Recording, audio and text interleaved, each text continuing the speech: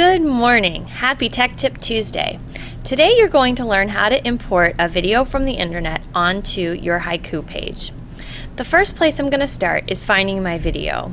I used YouTube, but you could also use YouTube Education, TeacherTube, or other things like that. The reason I'm using YouTube today is because YouTube and Haiku go together like peanut butter and jelly. In this button right, in this bar right here, I put in my search function and I was searching for something having to do with the continents. So I typed in the continents and, and using YouTube Ed and was able to find this really awesome rap song, hip hop fun song for second graders to learn their continents. I previewed the video to make sure it was appropriate. Then I'm going to come down here to where the bar is. If you don't see the long link, you're going to see a little youtu.be.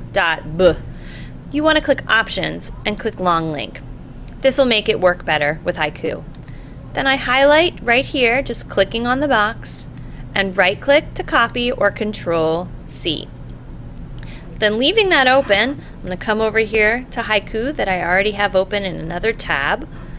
I'm going to click Add Content Block. Because YouTube and Haiku work so well together, they have their own button. To click that button. I'm going to paste my website address right in there and click Next. I'm going to rename this block title The Continents Song. And then I'm going to click Save. Then I have my beautiful continent song right there front and center on my Maps and Globes page. If I don't want it there, I can move it over to the side. That's how you embed a YouTube video into Haiku.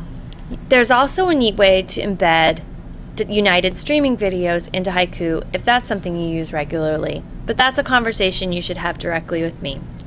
You can also embed videos that you've created yourself, and again, another conversation.